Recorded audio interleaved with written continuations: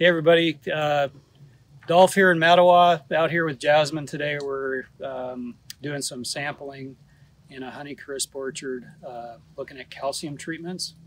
And this is a good opportunity to just kind of talk about some of the challenges that we're facing uh, with this with this apple in the Pacific Northwest. And I think you know, these are common problems that we see uh, anywhere Honeycrisp is grown. But uh, Mattawa, Washington is uh, in the state of Washington is a very warm site. Uh, it creates some unique challenges for growing Honeycrisp. Honeycrisp is uh, it favors higher elevation, but we're uh, in the neighborhood of uh, six or seven hundred feet above sea level here, um, and daytime temperatures are are very warm here in the summertime. So today we're expecting to be uh, triple digits, and we have been for the last uh, couple weeks here. So uh, most of the growers here uh, use some form of either shade cloth or overhead cooling to help mitigate the amount of sun burn and stress on the trees. And uh, in this case, we're using overhead cooling. Um, and uh, as you can see, the soil is uh, very wet out in the rows. Um, and uh, but you can see dry patches underneath the trees uh, throughout the orchard. Another thing you'll notice here is the amount of fruit that's on the ground underneath the tree. So this is another problem with Honeycrisp. Honeycrisp has been very profitable, but but there are some really um, kind of unique challenges with growing this apple, and this is one of them. So uh, this block is relatively vigorous. You can see how deep green the leaves are. Um, they've done some summer pruning. Uh, they're trying to manage their vigor that way. Um, but as a result of the vigor, the, the fruit tends to get very large. So the, the apples in this orchard are, are very large, and we're, we're still probably a week to a week and a half from really getting serious picking here. But you can see the fruit size is, is very large on average. Um, and so what these growers are doing is, is uh, leaving doubles like this, or sometimes even triples on the tree uh, to try to help mitigate some of the fruit size issues. Another thing that you'll see is that we have this really insidious problem here with, with uh, bitter pit. And this is prevalent throughout this orchard um, and is, it's uh, associated with the higher vigor, um, with uh, larger fruit, and um, and also uh, with the warmer climate, the, the warmer site. Um, so this also can be affected um, by the amount of potassium, magnesium that the, the plants are getting as well, and a lack of adequate calcium nutrition. Uh, and that's what we're really focused on is trying to provide that adequate calcium nutrition with uh, with the redox programs. So um,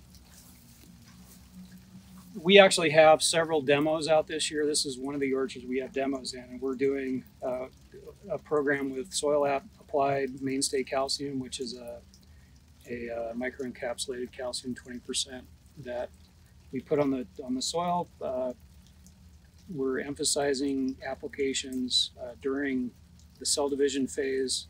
Uh, so we start at bloom time and we try to get um, a good heavy dose on um, within that first six weeks as the apple is developing.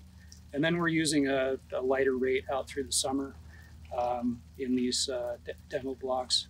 And this is something that has been uh, underway here in the Pacific Northwest for quite some time. Mainstay calcium has been in use for many years and is very popular for uh, this variety in particular uh, because of the, the benefits it provides reducing bitter pit.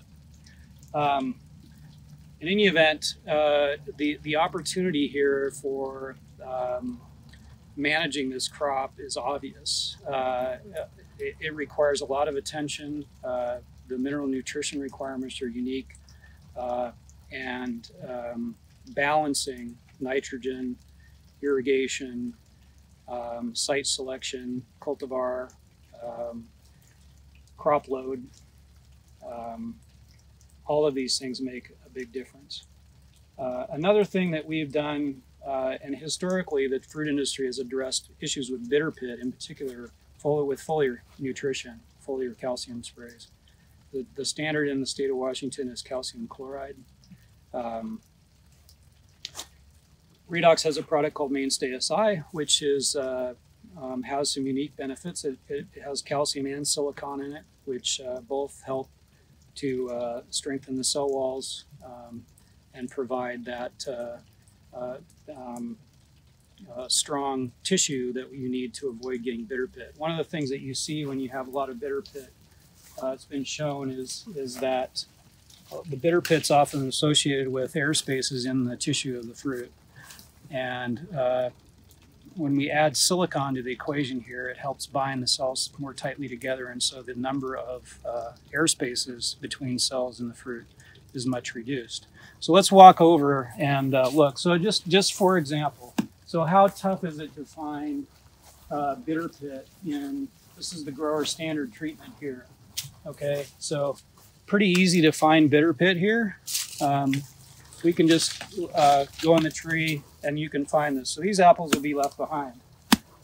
Um, when you see this uh, in the orchard at this time, so we're not quite to harvest, um, the expectations for getting a good pack out are, are probably not good here. So even though you may pick fruit that is clean, like this one, doesn't have any visible symptoms of bitter pit, there's a good chance that, that you will see uh, that coming out in storage. So, so this is the grower standard treatment. Pretty easy to find bitter pit. So let's walk over here and just look at uh, some of the other treatments that we have. And you can just see the, the fruit on the ground out here. Um, you know, I, I would say probably 10% of the fruit in the orchard is on the ground right now. Uh, by the time these guys are done with harvest, they're looking at uh, probably you know 15 to 20 percent that's going to be left behind, and so that's a substantial amount of fruit uh, left behind. And you know the dollars that are involved in that are significant. So solving this problem is a, a big priority. All right, so we're going to just walk up one of these rows here. This is uh, a portion of the orchard that was treated with foliar mainstay SI sprays, uh, starting at petal fall. And uh, the standard program has been to put on two of those uh, with a total of about a gallon of uh, mainstay SI per acre. And so we're kind of looking for bitter pit here. Um, and uh, there's some variability in here. Um, these guys are uh, trying to uh, reduce the amount of water that they're applying in, in, these blocks to help mitigate some of the bitter pit problems. But you know, it's not it's it's not uh, as easy to find bitter pit in in this area with the mainstay SI. So I haven't found a I haven't seen a bitter pit apple yet. Um, they're here for sure, but I haven't seen one yet. So yeah, here's here's a bitter pit apple. So down in the in the lower portion of the tree, um, nice big apple, but it, we're showing some bitter pit symptoms. But as you can see, the bitter pit here doesn't appear to be as severe as it is over in the uh, in the grower standard section.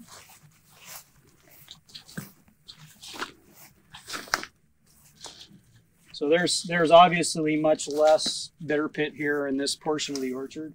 So let's so that's mainstay SI. Let's go over here and we'll take a look. Uh, they're using some calcium thiosulfate on the other side. This is the CATS, uh, or the calcium thiosulfate section of the orchard. And we're looking for bitter pit here. There's some right there. Um,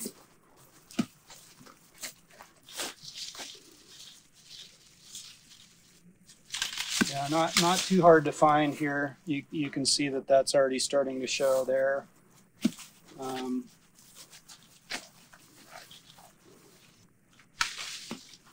There's some more.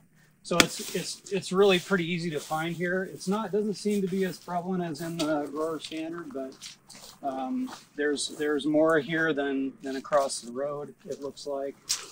Uh, you know, this is the anecdotal uh, example for sure, but there's plenty of bitter pit here. So um, you know, the, the unique thing about Mainstay Calcium, Mainstay SI, um, in addition to the, the silicon content in, in SI, is that uh, both of those products are microencapsulated calcium. So whether you apply them on the on the soil or on the foliage, um, the the calcium uh, ion is protected. So that uh, divalent charge is is protected and allows that ion to get uh, into the plant much more easily. It doesn't get tied up in the soil or um, on the surface of the leaf. Um, anyway, so that's kind of where we're at. Uh, we have collected samples here today. We're going to take uh, fruit in for analysis. We're doing mineral analysis on the cortex of the apple. And we're also taking fruit in. We're going to do some uh, storage tests. So we'll keep the fruit for 30 days and see what comes out in storage. And we'll let you know what happens.